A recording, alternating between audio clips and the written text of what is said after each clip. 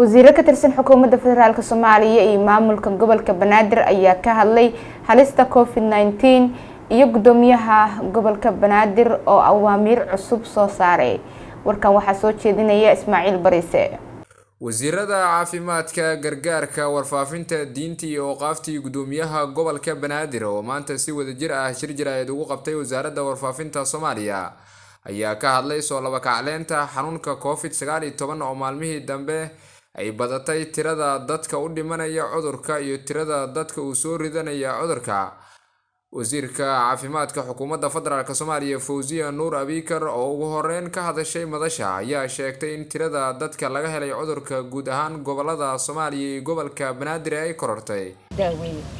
Nambarada aaday u badan yihiin qiyaasta haddii qabuuraha iyo la tegay dad badan oo waxaa jira guryahooda aanan ka soo bixin oo aanan soo raadsanin kaalmo xarun caafimaad ama dhakhaatiir magaaladan aan joogno dhimashada inay badatay idinkaa aad iyo aad uga warqabo soo geliya tacsida iyo maaragta aad iyo aad u badatay. Waa ka badan yihiin sidaan qiyaasayna aad iyo aad ay ugu badan yihiin nambarada la xaqiijiyey oo shaybaar lagu xaqiijiyey oo isbitaal soo raadsaday oo annaga aan hayno micnaheeda taas waxa waaye isu gudbiskii cudurka transmissionka aad iyo aad u u koreeyaa weli ma xaqiijinin oo shaybaar laguma xaqiijinin variantiga isbedelay ee kiika hore ka duwanaa inuu yahay iyo in kale.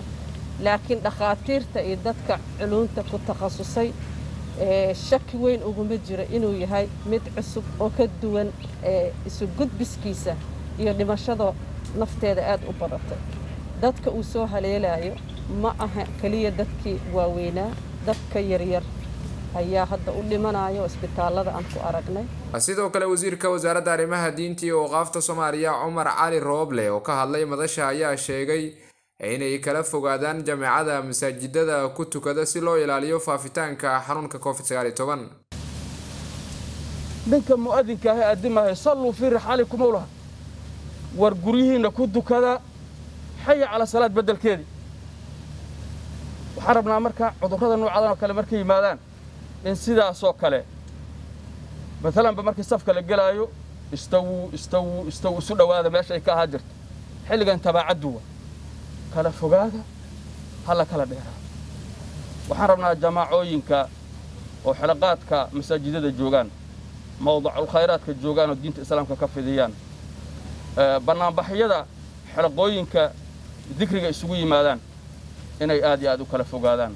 Dadkana ay faraan talooyinkan sidaan oo kale inay faraanaan aad iyo aad u codsanayno waxaan hubnaa cudurka nuucaana oo sidaan oo kale noqonaya diinteennu waxay qabtaa qofka jiran qofka fayaa inuusan u soo dhowaan.